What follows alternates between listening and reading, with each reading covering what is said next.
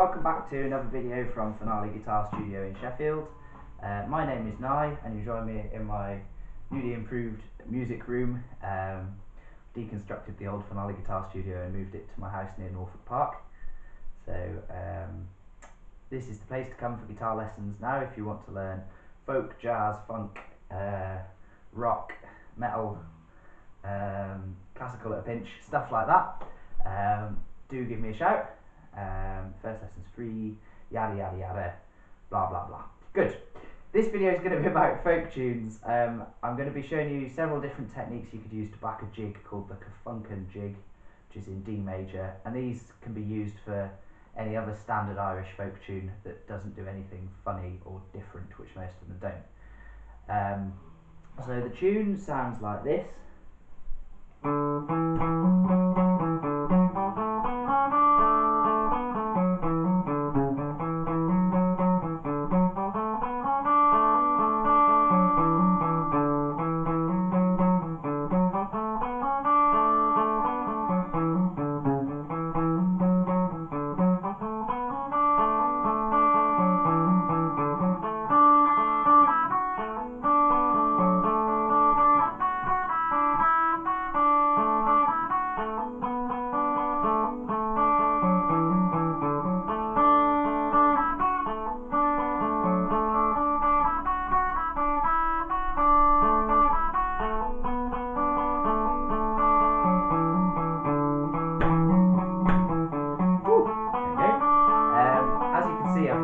On the loop pedal, so it will just play like this uh, until I press that button and tell it to shut up. Um, now that we've got that loop, I can show you some different things you can do under it. So I've mentioned in the other picking chords videos that I've done, uh, watch them first if you haven't watched them already, that um, chords 1 and 5 are the most important ones. Um, we're in the key of D major, so chord 1 is D, and chord 5 is going to be A major.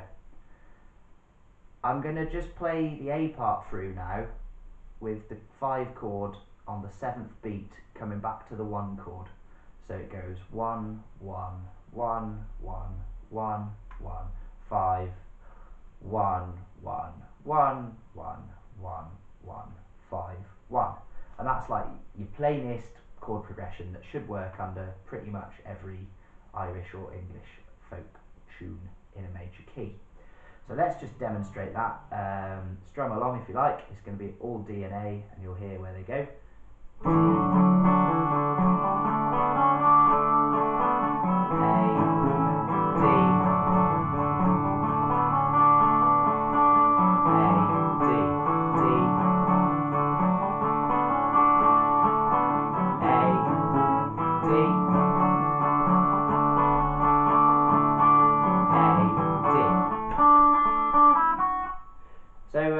That's all well and good. That is musically correct, but it's a bit boring for the listener, but also extremely boring for the guitarist.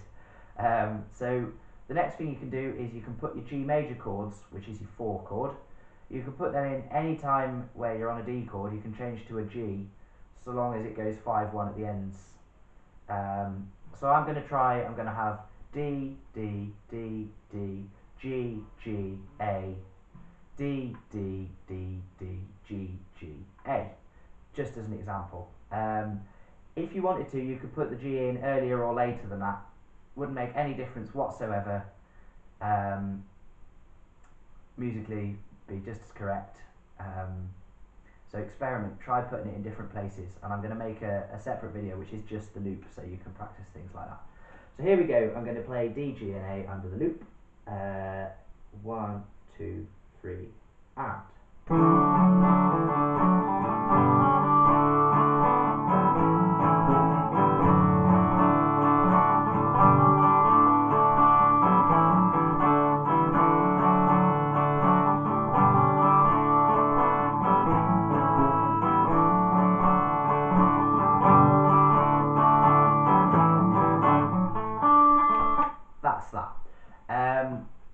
Should say you can play exactly the same chords for the B part in this tune as you can for the A part. Um, so that was D, G, and A, um, and that was nice. Now, in a session, you'll probably find they'll play the tune through maybe three or four times, Um, and by the time you've played it that many times, you'll be wanting to change the chords up a bit more to make it more interesting. And it's nice to kind of build the tune up as it progresses. Um, so the next thing I would do is consider adding related minors. So for D major, the related minor is B minor, um, and for G major, your four chord, the related minor is E minor. So I'm going to play the same thing through under that tune now, except that now, the second time through the A part, I'm going to play um, B minor and E minor instead of D major and G major. So that will sound something like this.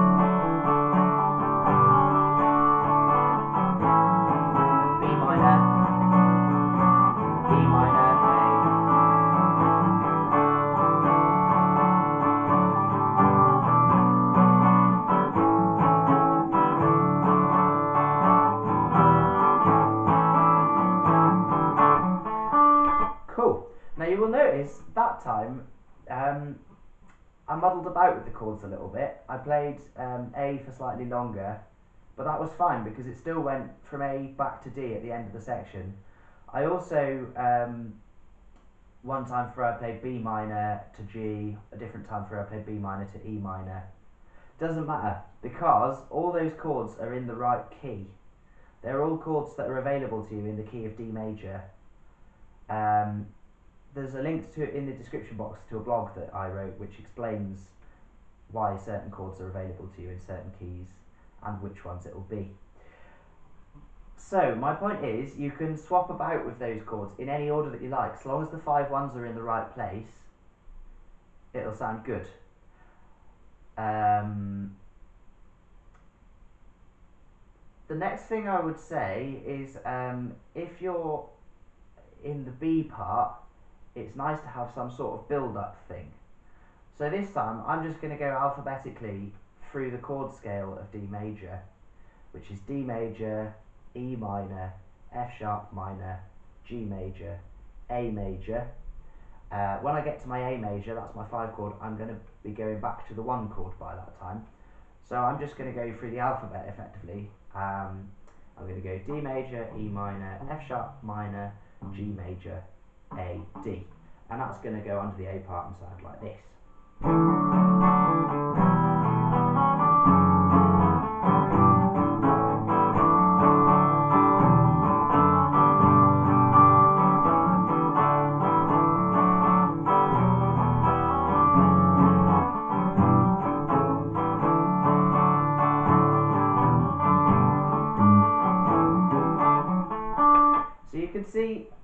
Another order that you can put those chords in.